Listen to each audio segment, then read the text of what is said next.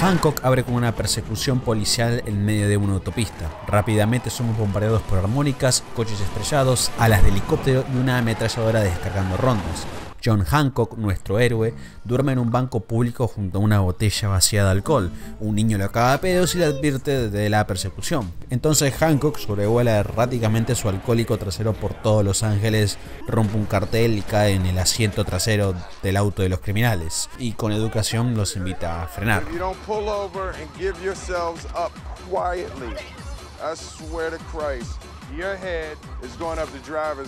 No le dan bola, entonces él lo detiene asegurándose de que nadie salga lastimado.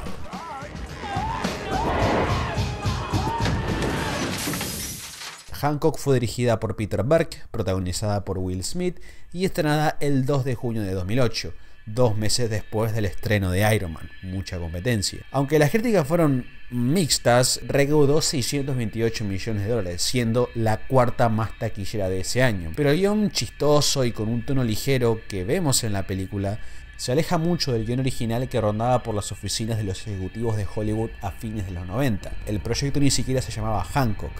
El superhéroe de Tonight He Comes era descrito como una mezcla entre el traumatizado John Rambo de First Blood y el alcoholismo autodestructivo de Ben en Live Las Vegas. Con solo leer las primeras líneas de diálogo notas una radical diferencia en el tono. Negro, está en todas partes, se traga la pantalla y así miramos a un mar negro. Una vez vi una cabeza cercenada, excepto por la palidez parecía sana, bien alimentada. El final llegó abruptamente, se notaba porque la boca se congeló a mitad de la frase shh intentaron los labios curvados, como si empezara a decir shocks o surely o shit happens. Tus ojos no olvidan esas cosas, como el sonido que hacen los animales cuando gimen, primal, crudo. Perduran en ti por siempre porque los sentidos tienen un cerebro propio y recuerdan mucho después de que hayas sucumbido al la la la del olvido. Un latido de embarazo. A veces, cuando está oscuro, tan oscuro que es negro, lo veo a él. Todo vuelve a empezar. En este video vamos a analizar el guion original de Hancock y lo vamos a comparar con la película, ver en qué cosas son parecidas, en qué se diferencian y sobre todo cuál de las dos versiones es mejor.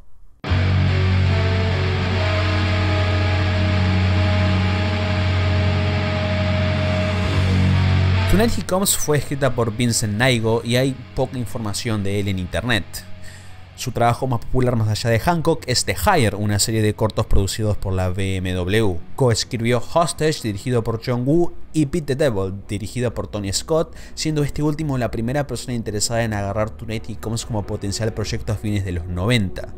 Pero eso quedó en la nada hasta que Artisanal Entertainment compró el guion y se lo entregó a Michael Mann, que estuvo cerca de dirigir pero dejó el proyecto cuando se le presentó la oportunidad de hacer una película de Miami Vice. Jonathan Mostow fue contratado, el director de Terminator 3, escribió un tratamiento de 10 páginas para que Will Smith protagonice el proyecto.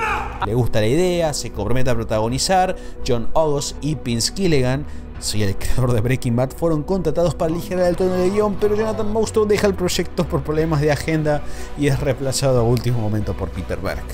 2000 years later.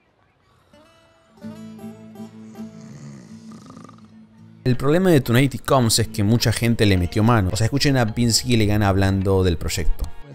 Hancock was originally entitled Tonight He Comes, and it was written by a wonderful writer named Vi Vincent No, who I never actually met. But uh, he wrote a great script. It was very dark, very atmospheric, very well written. And I was hired to come along and, and add a little, inject a little humor to it, I guess. Uh, and I was on that job for about four years and made a lot of money. It was a wonderful job, but by the end of it, I was so ready to move on to something else because you can only rewrite something 25 or 30 times before you start to, you know, Hablando de una posible secuela, Peter Berg dijo, ponernos a todos en la misma sala donde podamos hablar y ponernos de acuerdo en algo. Nunca conocerás a un grupo de personas a las que les cueste más ponerse de acuerdo en algo. Cuando combinas estos elementos, terminas con un proyecto agobiado por el infierno de desarrollo. Pero la pregunta es, ¿Tonight He Comes necesitaba ser reescrita? su oscuridad era tan extrema? Comparemos ambas versiones y veamos en qué se diferencian. Hancock frustra el robo, pero con todo lo que rompe hubiera sido más fácil si no hacía nada. Los medios de comunicación y el público en general le dan con un caño. Hancock va a un bar de mala muerte en donde una fan se le insinúa, prácticamente rogándole que le meta su miembro reproductivo en su baticueva. Van al taller de Hancock, empiezan a leer la Biblia y el superhéroe acaba con un huascazo tan fuerte que agujerea el techo.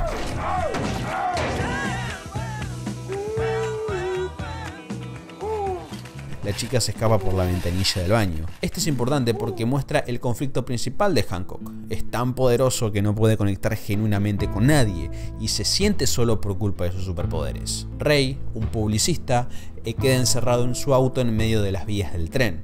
Hancock llega y le salva la vida alzando el auto en el aire y muy tranquilo. Un héroe. Nada, mentira. Se choca contra el tren produciendo otra masacre. La gente empieza a putearlo, menos Rey que lo invita a cenar agradeciéndole por salvarle la vida. En el hogar de Rey, Hancock es recibido por Aaron y Mary, el hijo y la esposa del publicista. Y Aaron está re chocho con su invitado superhéroe, pero Mary parece incómoda con su presencia. Acabada la cena, Rey le ofrece a Hancock ser su super publicista y que si deja de ser un idiota va a mejorar su imagen y que el público va a amarlo. Acá se establece el deseo del protagonista.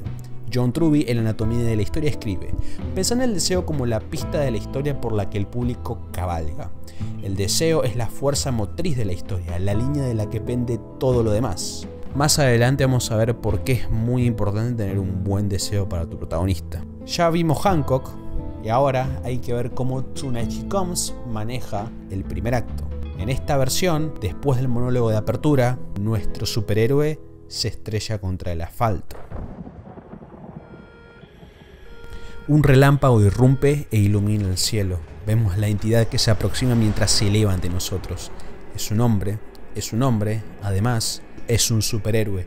Enfundado en un traje elástico de color gris oscuro, la capa roja desteñida se extiende detrás de él, luchando contra el viento y la lluvia este superhéroe, sin afeitar, despeinado, desgastado, un rostro tallado en kilómetros. En los ojos podemos ver su alma, intenso, feroz, un nervio expuesto, enganchado en un anzuelo. Cuelga en el aire, cansado, empapado por la lluvia, cabreado. Mira fijamente la tierra de abajo y contempla Ship Sheet Bay, un barrio costero de Brooklyn. Y desde las entrañas de su propia alma, este superhéroe lanza un estrenduoso grito pivota en el aire y se lanza hacia la tierra. Atraviesa el chaparrón con los brazos extendidos y el cuerpo erguido, envuelto en las dimensiones de su capa. El suelo se acerca rápidamente, acelera como para abrazarlo. La velocidad absorbe todo el espacio restante y se produce un impacto. Una explosión atraviesa la superficie de la calle, penetrando en el asfalto de cabeza. El lecho de arena y el hormigón brotan del orificio roto mientras él desaparece en el interior. El Hancock de Peter Berg rompe todo, pero lo hace con el objetivo de ayudar, a su manera, para el culo, pero ayudar. En cambio, el Hancock de Tonight Comes se estrella contra el pavimento en un impulso autodestructivo. Sale de los escombros, baja subterráneo y roba un paquete de cigarrillos de una máquina expendedora. Después, se registra en un hotel de mala muerte en donde prostitutas levantan clientes en la entrada. Entra en su habitación y lo primero que nota es que las sábanas están manchadas con restos de semen y orina. Pero no le importa. Va al baño, se baja los pantalones, se sienta en el inodoro y le da una larga pitada a su cigarro mientras mira pornografía barata que están pasando por el televisor de la otra punta. La ambientación de estas primeras 10 páginas me hizo acordar mucho a The Batman. El humo, la lluvia, la infraestructura desgastada le da una textura muy decadente. Hancock es caracterizado como el clásico detective privado del film noir, un poco hombre que duerme en un contenedor de basura cuando se gasta todo su dinero en la botella. Originalmente Rey se iba a llamar Horus. La diferencia está en la personalidad de cada uno de los integrantes de la familia. Aaron en la película era solo un extra, pero en Tonight He Comes es un chico atormentado por el bullying que no sabe cómo reaccionar ante la violencia que sufre todos los días. Su madre quiere anotarlo a clases de artes marciales, que aprenda a defenderse, pero su padre, y cito, quiere que ponga la otra mejilla. Horus intentó ser policía, pero fracasó en el examen de ingreso y ahora es un guardia de seguridad nocturno en un shopping. Estos detalles son muy importantes. Antes de irse a trabajar, Mari le, da un beso, lo toca, ellos encienden la llama del amor, pero Horus lo corta de golpe diciendo que se tiene que ir a trabajar. Agarra su termo de café y sale por la puerta delantera. Él cree que no merece a su esposa, pero tampoco hace algo para cambiar su situación. Es como un Walter White, pero incluso más patético. El guion empieza tranquilo, mostrándonos más que nada el día a día de los miembros de la familia. Aaron es atacado por el grupo habitual de bullies y uno le mea en la cara. Horus se pasea por los oscuros pasillos del shopping con linterna en mano y siente lástima por sí mismo. Pero en la página 19 el guion toma velocidad cuando a Mari la toman de rehén junto a otras personas en un intento de robo de un grupo comando. Un guardia llama a la policía y en un abrir y cerrar de ojos los delincuentes están acorralados.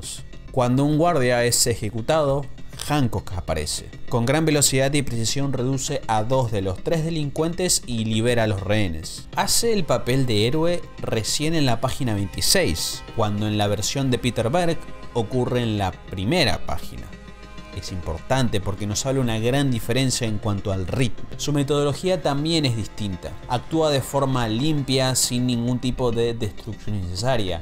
Actúa tan limpio que Mari queda impresionada por el accionar de este superhombre. A la hora de tratar civiles, Hancock es respetuoso, pero cuando se trata de criminales puede ser un verdadero hijo de puta. Tom, el tercer delincuente, se esconde en la bóveda del banco. Hancock entra y se encierra junto a él. Tom le apunta con su arma y le advierte que bajo ninguna circunstancia va a volver a la cárcel. Un superhéroe de Marvel intentaría dialogar y calmar las aguas, pero Hancock está muy lejos de ser ese tipo de héroe. En un monólogo le dice a Tom que no le importa, que haga lo que quiera, que está cansado, que le chupa un huevo y que salga por favor que no quiere seguir perdiendo el tiempo. Tom apoya la punta de la pistola en su sien y jala el gatillo. Esta escena es muy fría porque, a diferencia de la versión de Peter Berg, Hancock paga las consecuencias de ser un hijo de puta. No le sale barato. Es algo que incluso en la mayoría de las películas que tienen este tipo de personajes no solemos ver este tipo de reacciones de las otras personas. Este, esta parte me sorprendió mucho. Otra diferencia con el guion de Naigo es que en este Hancock tiene al público en el bolsillo. Hancock es aclamado bajo las luces de los medios de comunicación, los reporteros se aprietan a través de un muro de gente, la policía lo mismo, tratando de conseguir un pedazo de este superhombre. Hancock ya es amado, pero esto hace a su personaje incluso más deprimente. A pesar de ser querido por miles, prefiere pasar sus noches en un hotel barato mirando pornografía. Hasta la página 30 Tonight He Comes es muy superior al guion filmado, pero después del robo los problemas empiezan. Pero primero tengo que hablar de la estructura de guiones. Bueno, bueno, presten atención. Los guiones arquetipos tienen una estructura de tres actos. El primero dura 30 páginas, el segundo 60 con un evento importante en el medio que lo divide en dos y un tercer acto también de 30 páginas. Un acto suele terminar con un clímax, un gran evento que deja sentadas las bases para el siguiente acto. Por ejemplo, el clima del acto 1 en Logan es cuando el villano encuentra el escondite de Wolverine y X-23 y deben hacer una masacre para poder escapar. Yo pensé que el robo del banco era el clímax del acto 1 de Tonight He Comes, ya que ocurre alrededor de la página 30 y es un gran evento en donde los dos personajes más importantes de la historia se conocen. Lo natural es que ahora venga la cena, ¿no? ¿No? El guion sigue con más caracterización. Vemos cómo Hancock intenta volar y no puede, cómo le hace sexo a una prostituta, cómo le roba el arma a un delincuente que le quiso robar, se la pone en la boca y se pega tres tiros para demostrar cómo las balas son solo cosquillas para él. También lo muestran a Horus, que es humillado por dos policías que se creen Harry el sucio. Esto se siente como poner un auto en marcha, pero en vez de avanzar, te quedas ahí. Las escenas están interesantes, pero son más de lo mismo. Para mí, a Vincent Naigo le encantó la idea de escribir un personaje borracho y empezó a idear un montón de escenas y, y se le fue la mano. Porque un buen escritor es capaz de eliminar escenas que no aportan nada. En este apartado, la versión de Peter Berg es superior porque en 20 minutos te establece la debilidad, el conflicto, los personajes y la trama. Zip, zap, terminé. Esto es ser un profesional, niña. Recién en la página 50 de Tonight He Comes tenemos la famosa escena entre Horus, Mary, Aaron y Hancock. La primera mitad del guion se siente que no tiene rumbo, porque ningún personaje tiene un deseo claro que satisfacer, como que cada uno va de un lado para el otro. Y está bueno establecer eso en un primer acto, pero llega un punto que cuando lo largas lo empezás a arrastrar y se siente pesado. Y se nota en este guion eso. Además hay algunos errores más superficiales pero que también son importantes, como por ejemplo el tema de las casualidades. Hancock termina en la casa de Mary porque salva a su hijo de una golpiza. Pero ¿no les parece una gran coincidencia que justo salve al hijo de la mujer que rescató al otro día de una toma de rehenes? La escena entre Aaron y Hancock está buena porque además de salvarlo, le da un par de consejos de cómo defenderse en estas situaciones y de la importancia de la responsabilidad, como que comparte su filosofía con el chico, se la transmite, aunque sea un poco turbia. Pero hubiera tenido más lógica si Hancock rescata a Mary, esta lo invita a cenar, se hace amigo del chico y después ahí lo salva de los bullies y tienen la charla sobre responsabilidad, que, que, que me gustó mucho también. What springs to mind when you see this? Homo.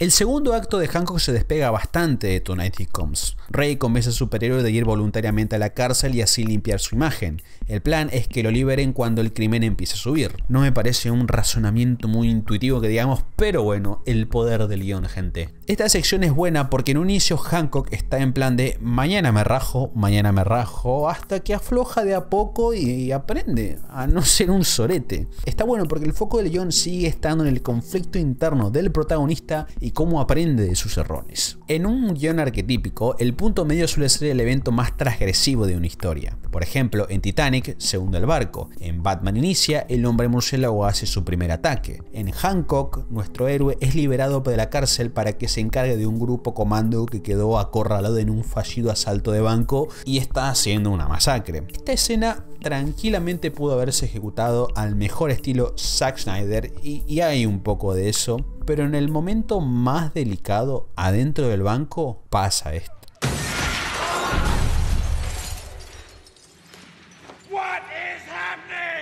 Silencio, planos más largos y unas hojas. Me encanta esta escena porque contradice el modus operandi que usa Hancock al inicio del film. Salva a una mujer policía, rescata a los rehenes, deja manco al jefe de la banda. Hancock es un héroe. En el punto medio, prácticamente completa su arco. Los créditos podrían empezar acá y yo estaría chocho de la vida. Pero Hollywood no puede hacer una película de 50 minutos.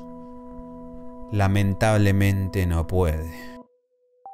Muchos de mis compañeros y yo vimos Hancock a los 12 o 13 años en el canal argentino Telefe. Aunque no la veía hace mucho, recordaba algo de la primera mitad del film, pero la segunda la tenía completamente en blanco. Viéndola otra vez de adulto entiendo por qué. Hancock ahora es una celebrity y tiene plata para comprarse ropas caras y va a una cena lujosa junto con Mary y Ray. Tienen una charla un poco más seria en donde revela que un día se despertó en el hospital sin recordar quién era. Nadie lo reclamó y deambula las calles desde entonces. Pues Hancock escolta a Ray a su cama, que está frito por el alcohol, baja a la cocina, intercambia miradas incómodas con Mary y en tres segundos se pasa su arco de personaje por el culo.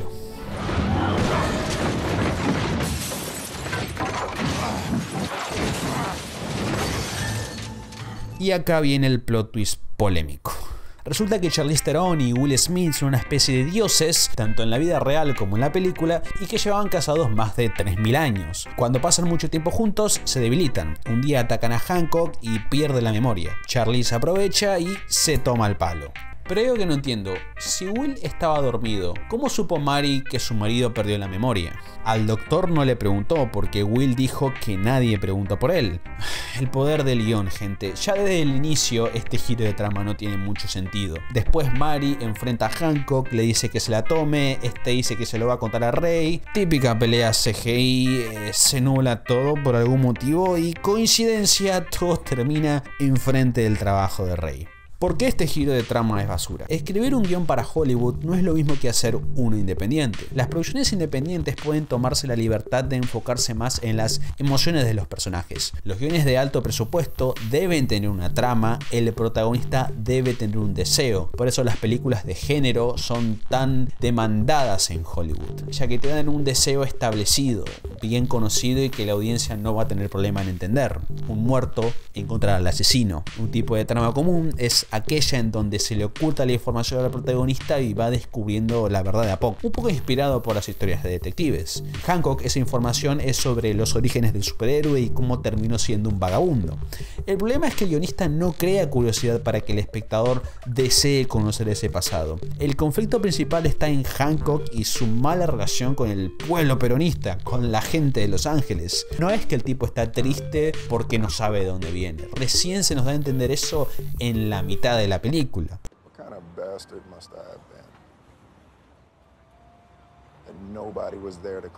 En The Batman, cuando va a analizar la primera escena del crimen, se establecen muchas preguntas.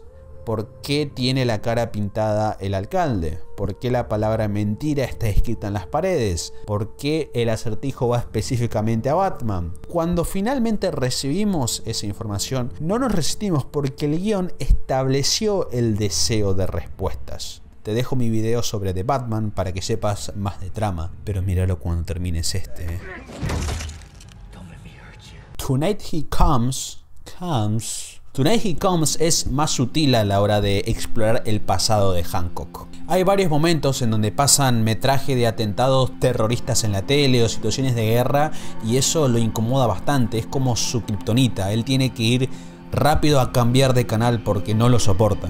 Ya nos está dando algunas pistas de que algo le incomoda, pero la respuesta la sostiene. Volviendo otra vez a la cena entre Hancock y la familia, los roles cambian en esta, si la comparas con la versión original. Mary es la persona que quiere ayudar a Hancock y Horus es el que se siente intimidado por su presencia. El lazo con Aaron también es más fuerte porque rescata al chico de que lo caguen a piñas prácticamente y, y evita de que le meen la cara. En la escena hay una conversación más amena en donde Hancock habla de todo lo que sufrió, le dice a Aaron que se defienda y habla de su filosofía de vida, de que un hombre debe hacer lo que debe hacer. Esto es muy importante porque ya nos va dejando pistas de cosas que van a explotar mucho más adelante. Termina la cena, Horus se va a trabajar y Mary le dice a Hancock que puede volver cuando quiera. Creo que se va a arrepentir de haber dicho eso. Algo que me fascinó es que el deseo del protagonista se establece en el punto medio, en una escena en donde no hay diálogos, es todo narrado de forma visual.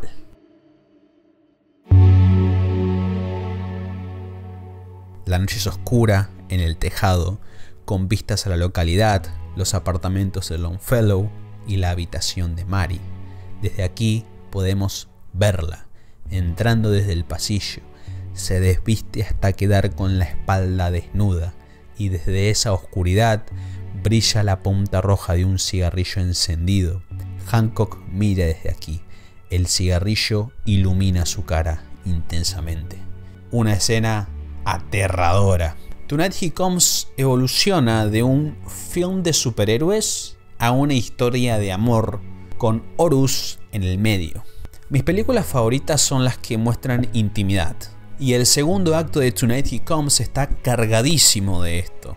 Por un lado, Horus se siente venido a menos por el hombre que pasa tiempo con su mujer y su familia, pero tampoco hace nada para cambiar su situación. Hancock acompaña a Aaron al colegio y a la salida sigue el consejo que le tira Hancock. Cuando lo molestan, en vez de ponerle otra mejilla, tiene que levantar el puño.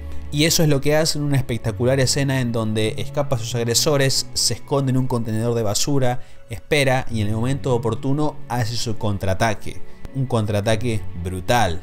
Pero la mejor parte son las escenas con Mari. En un punto Mari le está cortando el pelo a su hijo y cuando acaba le dice a Hancock que se siente que es su turno. Esta es la primera vez que alguien le cortó su desarreglado cabello a este hombre. El resultado no es profesional, pero Hancock está impactado por el amor y la delicadeza que hay en el acto. Otra escena muy linda es cuando Hancock le baja un pedazo de nube a Mari, se la entrega y deja que se derrita en sus manos. Muchas películas de superhéroes tienen una subtrama de romance, pero es solo eso, una subtrama. En Tonight He Comes, el amor se convierte en el conflicto principal. Y al no tener subtramas rebuscadas de no sé qué dios, el guion tiene tiempo de explorar los deseos más oscuros de estos personajes.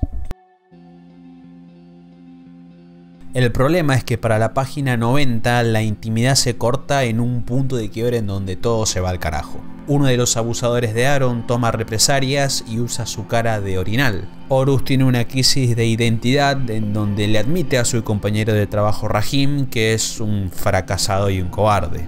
Su vecino le rompe la nariz de un puñetazo en un patético intento de hombría en el que quiere recuperar un diario que le robó. Tunetti Combs muestra que el cambio tiene su precio y que las decisiones que tomamos hoy nos pueden volver mal en el futuro. Hancock no aguanta más e invita a Mary a reunirse con él en el paseo marítimo de la ciudad.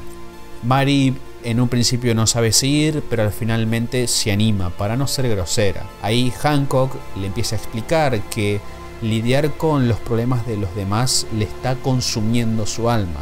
No quiere esa responsabilidad. Hancock quiere empezar una nueva vida común y corriente con Mary y Aaron. Solo quiero dejarlo ir, Mary. O me voy a quebrar. Necesito alejarme. Escapar. ¿A dónde? No, no lo sé. Necesito tu ayuda. ¿Yo? ¿Qué puedo hacer? ¿Qué querés que haga? Quiero que me salves. ¿Cómo? Sálvame. No, no puedo. Estoy casada. ¿Con quién? Lo amo, No. lo amo. Inaceptable. Esta escena no logra llegar al máximo de su potencial emocional por los problemas estructurales que acarrea el. La relación de Mary y Hancock empieza en la página 50 más o menos y termina en la 90. 40 páginas es muy poquito, sobre todo si tenés en cuenta que otras películas de romance como Silver Lining Playbook establecen el conflicto amoroso en la página 30 y lo cierran recién en el final de la película me quedé con ganas de ver más sobre la tensión que generaba este triángulo amoroso. Una solución era eliminar las 15 páginas de caracterización extra y extender eh, la relación de Mary y Hancock que vemos en el acto 2. Porque eso haría incluso más dolorosa la tragedia del acto 3. Volviendo a Hancock, estábamos con esta idea de que si el protagonista pasaba mucho tiempo con Charlize Theron se debilitaba. Bueno, en el clímax del acto 2 le pegan dos tiros a Hancock en un intento de robo que quiso frustrar y termina hospitalizado. A esta altura no tiene mucho sentido seguir explicando los detalles porque la verdad que no importa. Lo único que voy a analizar es el final. ¿Se acuerdan del chorro manco? Bueno, regresa en forma de fichas. Se escapa de la cárcel y va a buscar a Hancock al hospital para vengarse. En el clímax de un buen guion, el protagonista debe tomar una decisión muy fuerte para para sellar su arco de personaje. Por ejemplo, Logan sacrifica por X-23 cuando en el inicio solo quería sacársela de encima. Las decisiones que toma en el inicio y el final son muy distintas. Y estamos en este momento fuerte en donde Hancock está por ser ejecutado por Daniel Scioli hasta que Rey sale de una caja como Solid Snake y salva las papas. Para recuperarse, Hancock debe alejarse de Mary y por eso la decisión climática de nuestro héroe es huir. El problema es que las decisiones que tomó Hancock al final no contrastan con las del inicio. Al principio odia a todo el mundo y si tiene sexo con la piba esa del bar es porque la flaca estaba más caliente que conductor atascado en una marcha en la ciudad de Buenos Aires. O sea, Hancock al inicio quiere alejarse de todos y su decisión climática es alejarse de todos? Hubiera sido distinto si su debilidad era la dependencia emocional. El final sería más doloroso porque debe distanciarse de la mujer a la que ama. Y su arco de personaje va de aprender a estar solo. No se puede porque un machote de Hollywood como Will Smith no necesita mujeres. Las mujeres lo necesitan a él. Ah, sí, después terminan felices para siempre y hace una especie de ¿Qué? ¿Qué? Un sim ¿Cómo es? El final de la versión de Will Smith hubiera sido mejor si integraba más ideas de Tonight He Comes. Después de que a Hancock le rompen el Cora, activa el modo forrazo total. Se cruza con una nenita cuyo gato no puede bajar del árbol y lo baja sin vida de un piedrazo. Después empieza a tener sexo con todo lo que camina. Primero lo hace con una prostituta en un pub telefónico, después con una reportera, pero el amigo no se levanta. Se encierra en el baño, se baja los pantalones y empieza a masturbarse como si se lo quisiera desgarrar. Lo hace tan pero tan fuerte que explota el baño con el poder de la paja. Si tenés ganas de leer esto, te dejo la página. Pausa el video ahora. Acá es cuando Leon nos empieza a dar una explicación de por qué Hancock se comporta así, por qué eh, los sonidos de guerra lo traumatizan tanto. Recuerda el edificio en llamas, cuando rescata a un niño de los escombros, lo protege en su pecho, lo aleja del fuego y cuando baja la mirada, su rostro ya no está, solo queda el olor de la piel quemada. Es una versión cruda de la escena del rescate en Spider-Man 2. Horus gana relevancia en el tercer acto. A lo largo del es caracterizado como un Walter White, solo que sin iniciativa y sin inteligencia. Es solo un guardia de seguridad. La diferencia es que Walter White empieza a tomar decisiones arriesgadas desde el episodio 1. Horus jamás hace eso, ignora eh, todas las oportunidades que tiene de cambiar. Y honestamente pensé que en el tercer acto iba a ocurrir lo mismo. Unos criminales entran a robar al shopping de Horus, se escapa por la puerta trasera y llama a la policía. Pero estos se van tan rápidos como llegan por un pedido de refuerzos en otro lugar. Horus queda solo con los criminales y tiene dos opciones, o correr o enfrentarlos. Y para mi sorpresa, elige enfrentarlos. Vuelve a entrar por la puerta trasera y al mejor estilo Solid Snake con un bate de béisbol reduce a dos de los criminales y el tercero es abatido con una pistola por su compañero Rahim a último momento cuando este estaba a punto de hacer papilla a nuestro amigo Horus. Uno pensaría que esta es la batalla final de Horus y la ganó, pero no, todavía le queda una muy difícil por delante. Un alcoholizado Hancock secuestra a Mari y la lleva a la parte superior de una textilera. Hancock arrincona a Mari y le ruega, una vez más, que por favor lo salve. Ante la negativa empieza a darle golpetazos a la infraestructura, haciéndola temblar. Pero cuando Hancock se calma, los efectos del alcohol empieza a irse y se da cuenta que se mandó una macana, un ejército de policías aparece y los alrededores de la textilera se convierten en un océano de armas. Horus, acompañado de Aaron y Rahim, llega al lugar. La tensión explota cuando un policía con sed de sangre tira la primera piedra. Mari se tira al suelo y el hombre de capa roja inicia su masacre.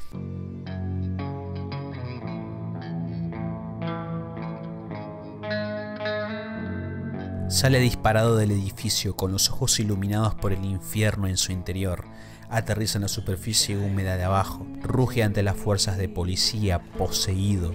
Una ametralladora montada en el interior de un helicóptero abre fuego. Olas de balas rebotan el héroe, sin efecto. Y en esa nota, Hancock toma su venganza. El primero en caer es el helicóptero. Se lanza por el aire y parte el vehículo en la mitad.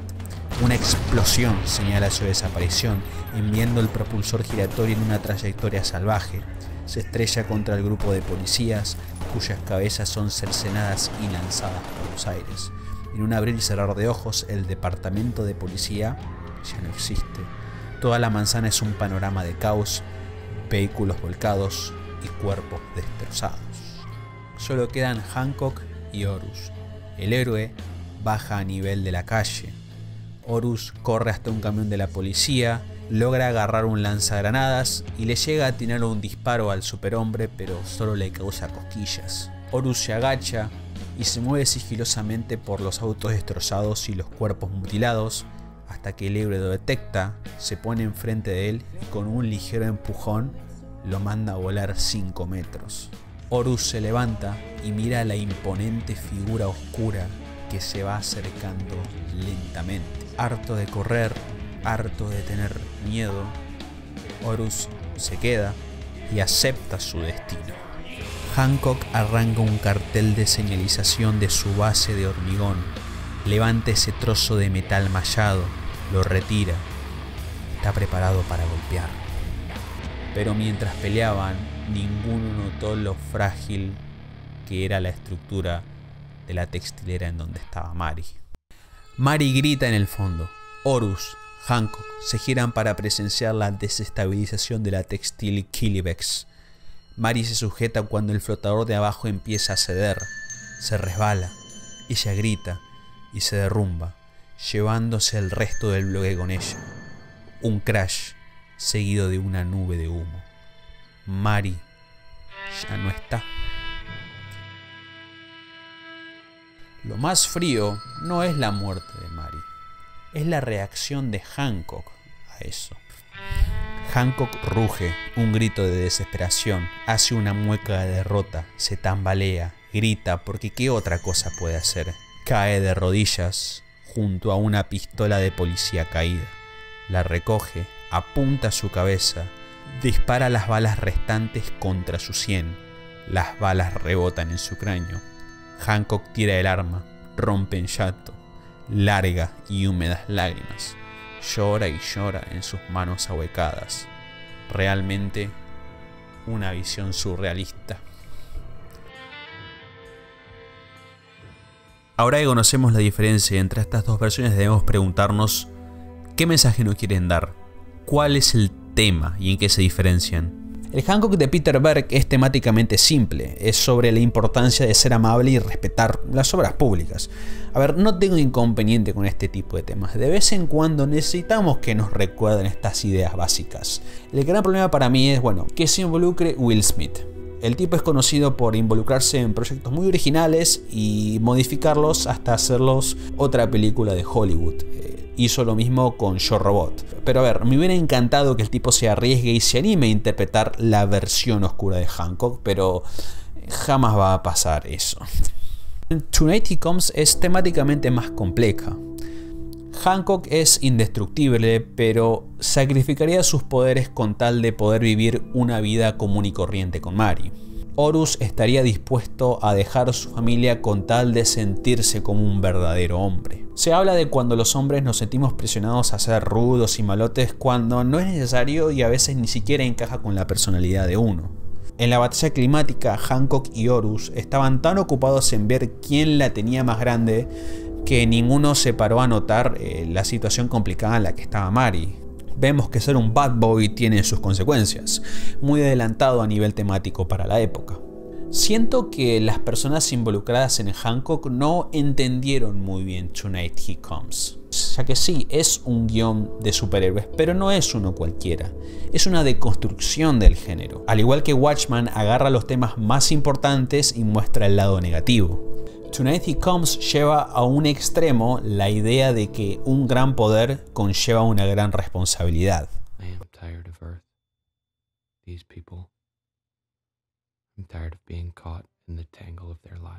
A Hancock le inculcaron esa filosofía y la respetó tanto que consumió todas las ganas de vivir que tenía. Imagínense al Peter de Spider-Man 2, pero viviendo 20 años con la misma rutina agobiante de responsabilidad por otros va a seguir siendo nuestro vecino amigable.